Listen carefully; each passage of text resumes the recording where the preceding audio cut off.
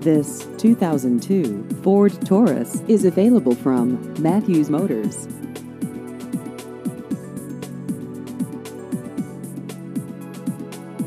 This vehicle has just over 92,000 miles.